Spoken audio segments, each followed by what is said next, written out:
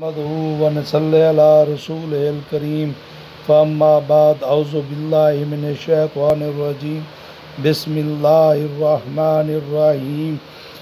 Deal digital skill educational learning and lectures یہ میرے YouTube channel کا نام ہے، اسے سبسکرائب کریں، اسے شیئر کریں، اسے کمنٹ کریں اوکے۔ السلام علیکم ورحمۃ اللہ وبرکاتہ۔ میرے آج کے ٹاپک کا نام ہے جامعہ ملیہ اسلامیہ۔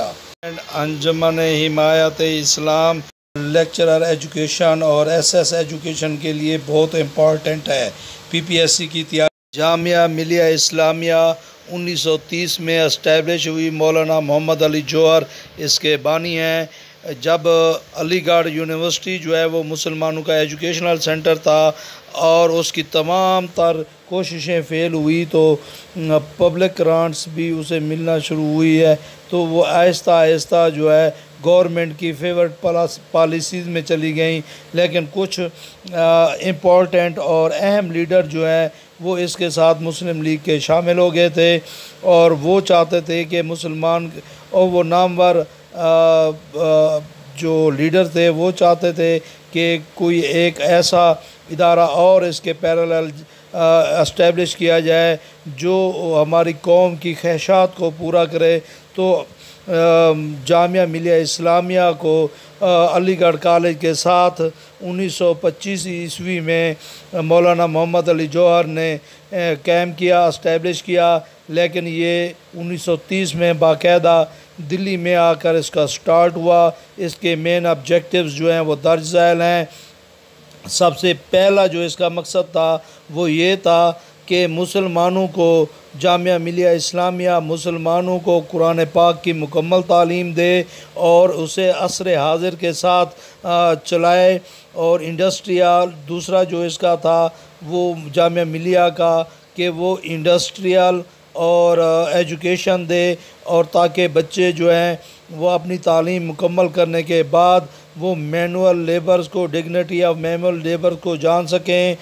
جامعہ ملیہ جو ہے، اس کا بڑا اہم مقصد یہ تھا کہ جدید سائنس اور مذہبی سائنس کو ایک کے دوسرے کے ساتھ قریب لایا جائے اور اس کا چوتھا بڑا مقصد تھا try to affect a compro compromised and کو relation between the religious and modern science اور اس کے بعد اس کے فیچرز ہیں جو مندرجہ ذیل ہیں، خصوصیات simplicity and sincerity Jamia Millia کے جتنے اساتذہ تھے اور جتنے اسٹوڈنٹس تھے، وہ سادہ زندگی گزارتے تھے اور اپنے سمپل ہارٹس میں تعلیم دیتے تھے۔ انہیں بڑی بڑی لگژری جو ہے نوکریاں اور پبلکلی گورنمنٹ کی طرف سے دی گئیں، لیکن انہوں نے ان کو ریجیکٹ کیا۔ انہوں نے کہا جی نہیں، ہم اپنی سادہ زندگی گزاریں گے۔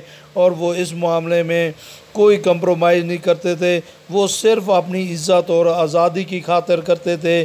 نمبر دو ٹیکنیکل ٹریننگ تو جامعہ ملیہ اسلامیہ کے اسٹوڈنٹس کو انڈسٹریل آرگنائزیشن میں ٹرین کیا جاتا تھا اور ہینڈی کرافٹ دستکاری سکھائی جاتی تھی تاکہ علم و تعلیم مکمل کرنے کے بعد وہ بے روزگاری کا شکار نہ ہوں۔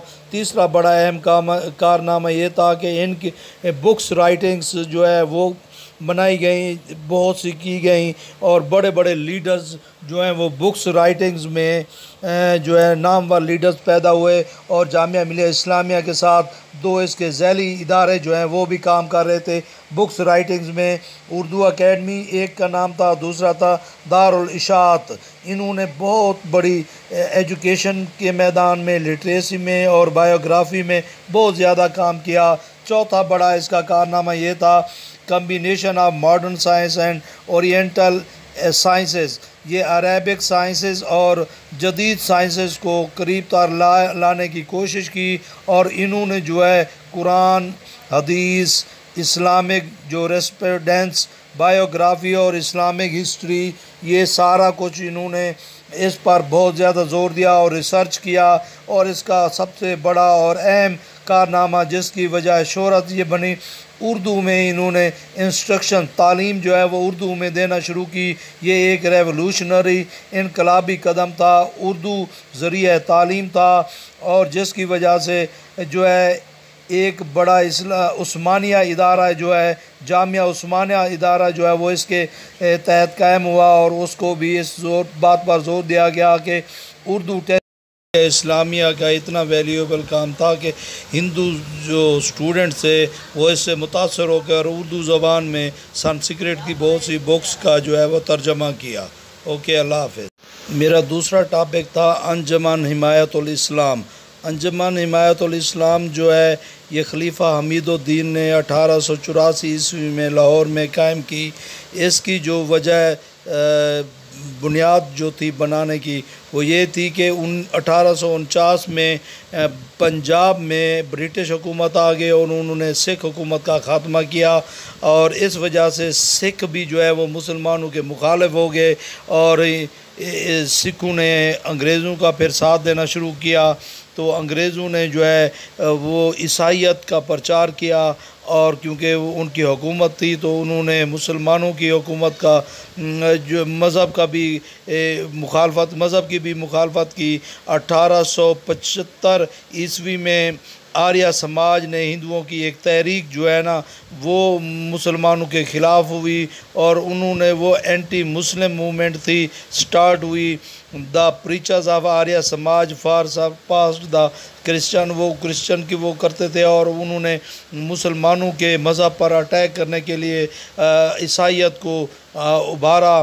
ان کا ساتھ دیا ان سچ condition Anjuman Himayat al-Islam was founded in eighteen eighty four Khalifa Hamid uddin اس کے پہلے منیجر تھے، انہوں نے جو ہے دیکھا کہ مسلم آریہ سماج اور جو ہے کرسچنز یہ دونوں مل کر مسلمانوں کے مذہبی تشخص کو، جو ہے، وہ اس کا خاتمہ چاہتے ہیں۔ تو انہوں نے جو ہے فوراً ایک کالج قائم کیا اور چھوٹے چھوٹے ادارے قائم کیے، جو جو سر سید احمد کی تعلیمات پر، جو مبنی تھے یعنی اس کا جو بیس تھا وہ سر سید احمد کی تعلیمات پر تھا، ڈگری کالج کے بنانے کے بعد وہ جو کالج بنایا، بعد میں وہ ڈگری لیول کا اٹھارہ سو نوے میں ہو گیا۔